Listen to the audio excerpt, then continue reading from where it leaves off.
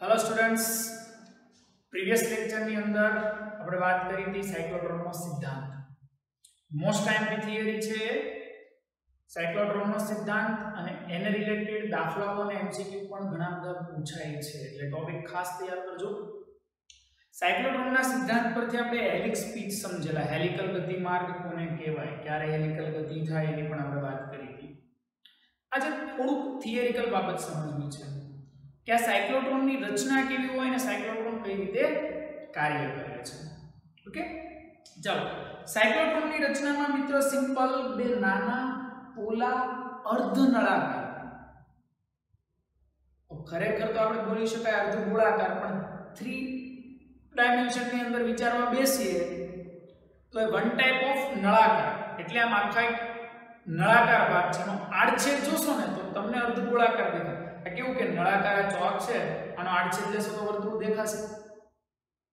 Okay? તો બે નાના ઓલા અર્ધ નળાકાર એકને નામ આપો D1 ને બીજાને નામ આપો D2 એને આકૃતિમાં દર્શાવ્યા પ્રમાણે કોઈ એક શૂન્ય અવકાશી બોક્સમાં ગોઠવેલા છે. મિત્રો, આ નળાકાર ધાતુના બનેલા છે. યાદ રાખજો.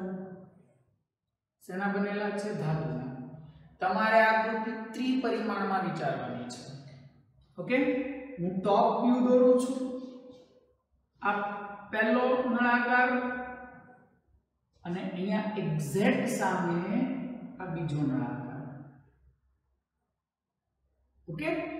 આને તમે નામ આપી દો D1 આને તમે નામ આપી દો D2 બંનેના આકાર તમે ટોપ વ્યૂમાં જોવો ને તો તમને ડીશ જેવા દેખાય. ડીશ જેવા. એટલે યાદ રાખજો મિત્રો, આ બંનેને ડીશ પણ બોલાય છે. શું બોલાય છે? ડીશ. ઓકે? બીજી વસ્તુ. આ બંને નળાકાર જે ધાતુના રાખ્યા છે એમાં ચુંબકીય ક્ષેત્ર લાગુ પાડવા માટે એની બંને સાઈડ પર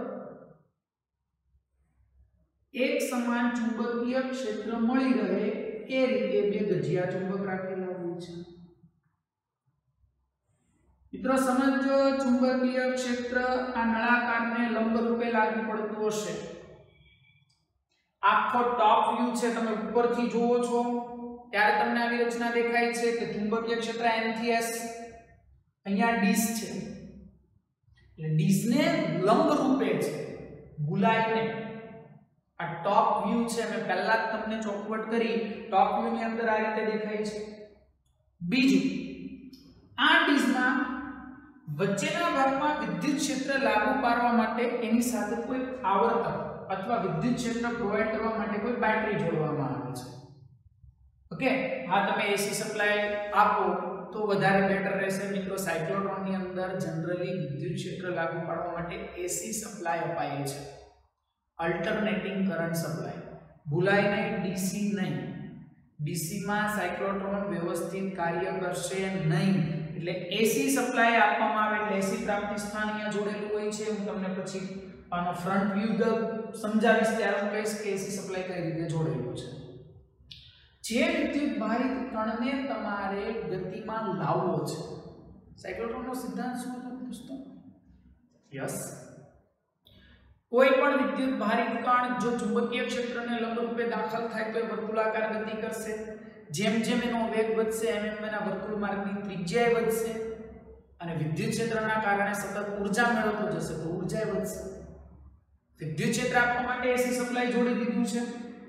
હવે જે કણને તમે ગતિ કરાવવાના છો, એ કણને અહીંયા P બિંદુ પાસેથી સપ્લાય કરવામાં આવે છે, બંનેની વચ્ચેના ભાગમાંથી. P બિંદુ પાસેથી સપ્લાય કરવાનો છે. ઓકે તો સિમ્પલ રચના થઈ હવે આપણે સમજવું છે સાયક્લોટ્રોનનું કાર્ય. હવે સમજવું છે સાયક્લોટ્રોનનું કાર્ય. સાયક્લોટ્રોન કઈ રીતે કાર્ય કરે છે એ જરાક આપણે સમજી લઈએ. ચાલો. આ જ આકૃતિ દોસ્તો, આ ટોપ વ્યૂ છે, આને આપણે ફ્રન્ટ વ્યૂમાં જોઈએ. અને સામેથી તમે જોશો ને આખી રચનાને, તો એ ફ્રન્ટ વ્યૂ કે આ રીતે જોવા મળશે? આખું શૂન્યાવકાશી બોક્સ ઓકે પાછળની બાજુએ એમ ધ્રુવ છે, આગળ એસ ધ્રુવ છે, એટલે ચુંબકીય ક્ષેત્ર અહીંયા બહાર આવતી દિશામાં છે. તમને યાદ હોવું જોઈએ મેં કીધું તું અંદર જતી દિશાને ચોકડી વડે દર્શાવાય અને બહાર આવતી દિશાને ડોટ વડે દર્શાવાય. એટલે તમારે એમ જ સમજવાનું છે, ચુંબકીય ક્ષેત્ર આ બોર્ડના સમતલને લંબરૂપે બહાર આવે છે. ચુંબકીય ક્ષેત્ર બોર્ડના સમતલને લંબરૂપે બહાર આવે છે. હવે જે પેલી બે ડીશ છે ને, એ દોસ્તો આ રીતે છે. આ એક ડીશ ભાઈ, આટલો મોટો ગેપ હોતો નથી આ તો તમને મારે થિયરી સમજાવવાની છે, એટલે હું આટલો મોટો ગેપ દોરું છું. આ બીજી ડીશ આ D1 અને આ D2 ક્લિયર સમજ પડી ગઈ બધાને? બીજી વસ્તુ, અહીંયા તમારે વિદ્યુત ક્ષેત્ર લાગુ પાડવાનું છે, એટલે અહીંયાથી આપણે દોસ્તો, એક આવર્તક જોડવામાં આવે છે. એસી સપ્લાય વોલ્ટેજ અને આપણે શું બોલીશું આવર્તક. ઓકે? અહીંયા એક આવર્તક જોડેલો છે. ચુંબકીય ક્ષેત્ર બહાર છે એસી સપ્લાય વોલ્ટેજ જે વિદ્યુત ક્ષેત્ર પ્રોવાઇડ કરશે. યાદ રાખજો, આ બે ધાતુની ડીશ છે, એની અંદર વિદ્યુત ક્ષેત્ર ન હોય કેમ? ઇલેક્ટ્રોસ્ટેટિક શિલ્ડિંગની ઘટના બન્યા ઇલેક્ટ્રોસ્ટેટિક શિલ્ડિંગમાં મેં શું કીધું હતું કોઈ ધાતુ કોઈ સુવાહક પર બાહ્ય ક્ષેત્ર લાગુ પાડવામાં આવે તો એની અસર અંદર કેવી હોય? ઝીરો અંદર વિદ્યુત ક્ષેત્રની અસર નથી અંદર ચુંબકીય ક્ષેત્રની અસર છે, જ્યાં બહાર આવે છે. વિદ્યુત ક્ષેત્ર અહીંયા વચ્ચેના ભાગમાં છે દોસ્તો. વિદ્યુત ક્ષેત્ર ક્યાં છે? વચ્ચેના ભાગમાં છે. બીજું, હવે આ જે પણ અહીંયા ગતિ કરે છે, એની ઊર્જા એક ટાઈમે બહુ વધી ગઈ. પછી મારે એને એમાંથી બહાર કાઢવો છે. તો એને બહાર કાઢવા માટે કોઈ ઋણ ભારિત પ્લેટને એના માર્ગમાં રાખી શું કામ જો ઋણ ભારિત પ્લેટ રાખશો, તો એના કારણે આ કણ કાં તો આકર્ષણ કાં તો અપાકર્ષણ અનુભવશે. જો પ્રોટોન હશે તો આકર્ષણ થશે. જો ઇલેક્ટ્રોન હશે તો અપાકર્ષણ થશે. પણ બળતો લાગ્યું ને? એટલે હું એ જે ગતિ કરતો હતો, તમે જેવી પેલી પ્લેટ રાખશો કે આકર્ષણ કે અપાકર્ષણના કારણે પોતાના મૂળ સ્થાનેથી વિચલિત થશે. મૂળ સ્થાનેથી જગ્યા છોડી દેશે. ત્યાંથી સીધો બહાર એક્ઝિટ ને સામે તમારે જેના પર એનો મારો ચલાવવાનો છે વસ્તુ રાખી દીધી સીધો એના પર મારો ચાલે. તો એને બહાર કાઢવા માટે અહીંયા એક એક્ઝિટ હોય છે. એક્ઝિટ તરીકે દોસ્તો શું છે? ઋણ ભારિત પ્લેટ રેડી આ ઋણ ભારિત પ્લેટ બહાર કાઢવા માટે. હવે સમજો કઈ રીતે કાર્ય કરે છે. આવર્તક જેની આવૃત્તિને આપણે નામ આપી દઈએ fa frequency of alternating current કે સમજો. જે કણને ગતિ કરાવવા માંગો છો અથવા જે કણનો મારો ચલાવવા માંગો છો અને p બિંદુએથી ગતિ કરાવો, ચાલો ધ્યાન આપજો. જેવા તમે p બિંદુએથી ગતિ કરાવશો, માની લો કે તમે અહીંયા પ્રોટોન મૂક્યો છે. આ પ્રોટોન છે, ધારી લો. અલ્ટરનેટિંગ કરંટ છે એસી પ્રવાહ એટલે એક પ્લેટ ધન હશે તો બીજી ઋણ હશે. કેમ? અલ્ટરનેટિંગ કરંટની ખાસિયત કંઈક આવી છે ને દોસ્તો? અર્ધા આવર્તકાળ દરમિયાન જે ભાગ ધન છે તો સામે બીજો ભાગ ઋણ. બીજા અર્ધા આવર્તકાળ દરમિયાન આ ભાગ ધન થશે તો આ ભાગ ઋણ થશે. અલ્ટરનેટિંગ કરંટ દર અર્ધ આવર્તકાળે પોતાની પોલારિટી બદલે. બરાબર? એક આખા આવર્તકાળે તો આખું તરંગ પસાર થઈ જાય અર્ધ આવર્તકાળે પોલારિટી બદલે. સમજો હવે. જાઓ. કણે, અહીંયા વિદ્યુત ક્ષેત્ર છે, આ ભાગમાં. વિદ્યુત ક્ષેત્રના કારણે ઊર્જા ઊર્જા મળીને લંબરૂપે દાખલ થયો. જેવો લંબરૂપે દાખલ થયો સાયક્લોટ્રોનનો સિદ્ધાંત યાદ કરો દોસ્તો. યસ સાયક્લોટ્રોનનો સિદ્ધાંત યાદ કરો પહેલા તો આવર્તકાળ એટલે આવૃત્તિનો વ્યસ્ત. કેટલો હતો આવર્તકાળ?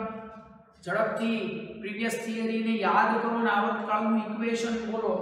2 પાઈ m બાય qb હા, આવૃત્તિ હતી qb બાય 2 પાઈ હવે સમજો ધ્યાનથી. ચુંબકીય ક્ષેત્ર લાગુ પાડી વિદ્યુત ભારિત કણ છે અને એક દળ છે.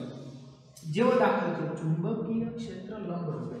ચુંબકીય ક્ષેત્રને લંબ રૂપે કણ દાખલ છે એટલે કઈ ગતિ કરશે? વર્તુળાકાર. તો અહીંયાથી વર્તુળ સ્ટાર્ટ થઈ વર્તુળ ગતિ જેવી અડધી પૂરી થઈ દોસ્તો, જોજો મેં હું કીધું આવર્તકાળ અચળ છે, આવર્તકાળ ન બદલાય, એમાં બધું અચળ છે. એવું ન માનતા. નાનું ચકડું છે તો સર એમ આવર્તકાળ એ નાનું, મોટું ચકડું છે તો આવર્તકાળ એ મોટો. નેવર ક્યારેય નહીં. આવર્તકાળ અચળ રહે છે. ઓકે? તો જેવું અડધું ચક્ર પૂરું કરશે, એટલે t 2 ટાઈમ પસાર થયો જેવો t 2 થયો એટલે આ શું થઈ ગયો? માઇનસ ને આ શું થઈ ગયો? પ્લસ. એટલે હવે જેવો આમાંથી બહાર નીકળશે એટલે આ બાજુ ખેંચાશે. ઓફ કોર્સ આ માઇનસ થઈ ગયું ને હવે? કણ તમારો પ્લસ છે, ધન અને ઋણ વચ્ચે આકર્ષણ. સમજાય? પણ એક વસ્તુ જુઓ. વચ્ચેથી પસાર થયો, પાછું વિદ્યુત ક્ષેત્ર મળ્યું. વિદ્યુત ક્ષેત્ર મળ્યું એટલે એને ઊર્જા મળી. પાછી નવી ઊર્જા લીધી. દોસ્તો, બે પ્લેટ વચ્ચેના ભાગમાં કંઈક વિદ્યુત ક્ષેત્ર છે સ્થિતિમાન છે એટલે દર વખતે આટલી ઊર્જા મળતી જશે. જો આના વોલ્ટેજ V હોય, તો દર વખતે આટલી ઊર્જા મળતી જશે. ચાલો એને ઊર્જા મળી. જેવી ઊર્જા લીધી, એટલે વધારે ઊર્જા સાથે ગતિ કરે. વધારે ઊર્જા ગતિ ઊર્જા વધી એટલે સાહેબ વેગ વધ્યો વેગ વધ્યો, એટલે ત્રિજ્યા વધી. પાછળ દૂર પૂરું થયું. સેમ કન્ડિશન સાહેબ, આમ દર વખતે ઊર્જા મેળવતો જાય વધુ ગતિ કરતો જાય, જ્યારે પરિઘ ઉપર પહોંચે, એટલે પેલી ઋણ ભારિત પ્લેટના કારણે સીધો બહાર નીકળી જાય તો અહીંયા જે વર્તુળ ગતિ થઈ, દોસ્તો, એ વર્તુળ ગતિ માટે જવાબદાર કેન્દ્રગામી બળ તરીકે અહીંયા કયું બળ હતું? QEB આ ભણી ગયા છો રિપીટ કરું છું. QEB યાદ છે? VV કેન્સલ તો એની ત્રિજ્યા થઈ ગઈ mv qb mv એટલે વેગમાન, તો p qb તો તને એટલી ખબર પડી ગઈ? ત્રિજ્યા વેગના અને વેગમાનના સમપ્રમાણમાં છે. આવૃત્તિ અચળ છે. અહીંયા એક વસ્તુ માર્કિંગ કરજો, આવૃત્તિને વેગ કે ત્રિજ્યા સાથે કોઈ સંબંધ નથી. આવૃત્તિ કેવી છે દોસ્તો? અચળ. ત્રિજ્યા તમે જોઈ શકો, જેમ વેગ વધશે એમ ત્રિજ્યા વધશે. વેગમાન વધશે એમ ત્રિજ્યા વધશે. બીજું, r ચલે છે v તો બોલો, v નું સૂત્ર શું થઈ ગયું? Q b r m કિંમત આમાં મૂકો તો ગતિ ઊર્જા શું થશે? જો 1 half mv square qbr m, એનો વર્ગ. બોલો, શું થઈ ગયું 1 half q square b square, r square by m. જેમ જેમ ત્રિજ્યા વધે, એમ એમ એની ગતિ ઊર્જા વધશે, જેમ જેમ ગતિ ઊર્જા વધતી જશે, એમ એમ પણ વધારે વેગથી ગતિ કરતો જશે. અને એક સમય એનો વેગ એટલો પ્રચંડ થઈ જશે, એની ઊર્જા એટલી પ્રચંડ થઈ જશે, કે જેથી કરીને તમે અહીંયા તેને નિકાસ કરી સામે માળો ચલાવશો તો યોગ્ય પ્રતાડન કરી શકશો ક્લિયર પણ એક મર્યાદા છે. કે તમારી આવર્તકની આવૃત્તિ અને જો સાયક્લોટ્રોનની આવૃત્તિ સેમ થઈ જાય દોસ્તો. આ મર્યાદા છે સમજો ત્યાંથી. તમે જે એસી સપ્લાય આપો એની આવૃત્તિ. અને તમારો કણ જે વર્તુળ ગતિ કરે છે એની આવૃત્તિ. જો આ આવૃત્તિ સેમ થઈ, તો અનુનાદ સર્જાય. ધોરણ 11 યાદ કરો. યસ, આવૃત્તિઓ સમાન બનવી અને મહત્તમ કંપ વિસ્તાર સાથે દોલનો થવા એની ઘટનાને અનુનાદ કહેવાય. અને જો અનુનાદ સર્જાય, તો સાધનને નુકસાન થાય. બીજી એક મર્યાદા એવી છે દોસ્તો કે આ બહુ મોટા ડીશ રાખવામાં આવે, બહુ મોટો વેગ ધારણ કરે તો સાહેબ પ્રકાશના વેગની નજીકે પહોંચી જાય. બહેનું નથી આવું, આ તો મર્યાદા છે. જો પ્રકાશના વેગની નજીક પહોંચી જાય, તો આલ્બર્ટ આઇન્સ્ટાઈનનો સાપેક્ષવાદ શું કહે છે? કણનું, દ્રવ્યનું ઊર્જામાં રૂપાંતર થઈ જાય, કણ ઊર્જા બની જાય. આપણે વાટ જોઈએ ક્યારે આવે ક્યારે આવે? ઊર્જા બની ગઈ ગોટ ઇટ ક્લિયર તો મિત્રો આ થઈ ગઈ સાયક્લોટ્રોનની રચના આ થઈ ગયું સાયક્લોટ્રોનનું કાર્ય. બે થિયરી અલગ અલગ બે માર્ક્સની અંદર પૂછી શકે, સાયક્લોટ્રોનની રચના સમજાવો અથવા સાયક્લોટ્રોનનું કાર્ય સમજાવો. યાદ રાખજો આવૃત્તિને ઝડપ કે ત્રિજ્યા સાથે કોઈ સંબંધ નથી, પણ એની ગતિ ઊર્જા જે ખરી એ ત્રિજ્યા પર આધારિત છે. ગતિ ઊર્જાને ત્રિજ્યા સાથે સંબંધ છે. ચાલો આવા સાયક્લોટ્રોનના કેટલાક ઉપયોગો આપણે સમજી લઈએ. પહેલો જ ઉપયોગ મિત્ર, ન્યુક્લિયસનું બંધારણ મેં તમને ઓલરેડી સમજાવી દીધો છે. બોલો કોઈ પણ ન્યુક્લિયસનું બંધારણ જાણવું હોય તો ન્યુક્લિયસ પર ખૂબ મોટી ઊર્જા ધરાવતા કણનો મારો ચલાવવો પડે. પ્રચંડ ઉર્જાવાળા કણનો મારો ચલાવવો તો છેક ન્યુક્લિયસ સુધી જતો રહે. ન્યુક્લિયસનું બંધારણ બીજો ઉપયોગ કોઈ ઘન પદાર્થમાં અન્ય આયનો ઘુસાડી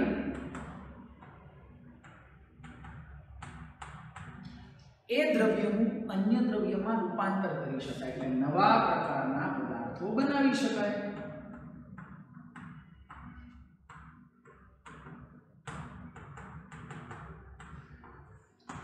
સિમ્પલ કહો આને ઇમ્પ્લાન્ટેશન કહેવાય ઇમ્પ્લાન્ટેશન કેવી વાત છે તમારો કોઈ દાંત સડી ગયો હોય ડેન્ટિસ્ટ પાસે જાવ એટલે શું કરે? સડેલો દાંત કાઢી જાય નવો દાંત બેસાડી દે. બસ આયન છે. ઘન પદાર્થ છે, એમાં આયનો ગોઠવાયેલા છે. તો તમને એમ થાય કે મારે બહારથી કોઈ નવો આયન છે અને એમાં બેસાડવો છે, તો કે તમે હાથથી મૂકશો તો નહીં બેસે. તો શું કરવાનું? એ આયનને સાયક્લોટ્રોનમાં ચડાવો એકદમ સ્પીડમાં ગતિ કરશે. જેવો પદાર્થ પર મારો ચલાવો, એટલે પેલો સડેલો આયન નીકળી જાય ને ion transplantation one type of ion બદલી ગયો એટલે દ્રવ્ય બદલાઈ ગુણધર્મો બદલાઈ ગયા. તો નવા ગુણધર્મો દ્રવ્ય પણ આમાંથી બનાવી શકાય. મિત્રો, હોસ્પિટલોની અંદર રેડિયોએક્ટિવ દ્રવ્યો સાયક્લોટ્રોનની મદદથી ખૂબ મોટી ઊર્જા ધરાવતા બનાવીને કેન્સર જેવા રોગોના નિદાન અને સારવારમાં યુઝ થાય. કેન્સર એટલે શું છે? કોષોનું અનિયંત્રિત રીતે થતું કોષ વિભાજન. ગાંઠ થઈ ગઈ છે. ગાંઠને તમે કઈ તોડી લઈને નથી તોડવાના. તો આવી ગાંઠોને તોડવા માટે ખૂબ મોટી ઉર્જાવાળા કણોનો રેડિયોએક્ટિવ વિકિરણોનો મારો ચલાવવો પડે. તો એવા વિકિરણોની ખૂબ મોટી ઊંચા સાયક્લોટ્રોનની મદદથી મેળવી શકાય છે. ક્લિયર સમજ પડી ગઈ? તો આથી કે સાયક્લોટ્રોનની રચના સાયક્લોટ્રોનનું કાર્ય અને સાયક્લોટ્રોનના ઉપયોગો. આ થિયરિકલ વસ્તુ છે બેટરી ટેક્સ્ટ બુકમાં આપી છે. તો તમારે ખાલી આકૃતિઓ હોય તો અહીંયાથી દોરજો લખાણ બધું જ તમારે ટેક્સ્ટ બુકમાંથી કરવાનું છે. ક્લિયર લખાણ ટેક્સ્ટ બુકમાંથી કરજો. ઓકે ચાલો, વિડીયોને પોઝ કરો આકૃતિ દોરી હોય તો દોરી લો, લખાણ ટેક્સ્ટ બુકમાંથી લખી લેજો. પછી આપણે આગળ વધીએ બાયો સાવરનો નિયમ.